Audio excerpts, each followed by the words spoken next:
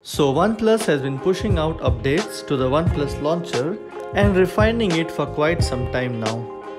OnePlus's Oxygen OS plays well with the OnePlus launcher as it is fast, fluid and snappy.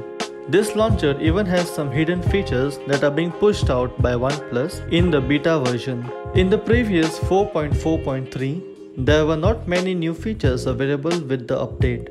But now, OnePlus has added a very important feature in this update, which no one had been expecting from OnePlus.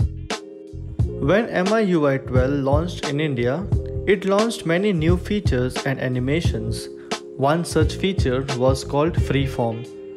This feature helps you to get a small window of any app that supports it. This feature is used for multitasking.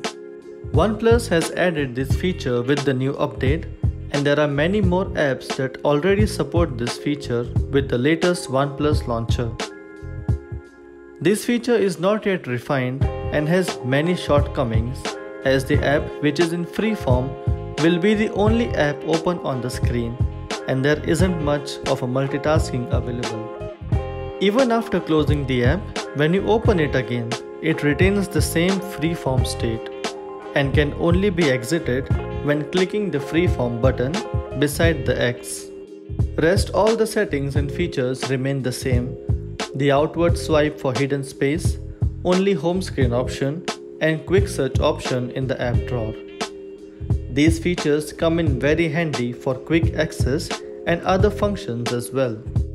OnePlus will definitely be launching another update to the OnePlus launcher which will refine this feature and help in smooth multitasking experience. If you stuck around till the end, I hope that you can subscribe as well.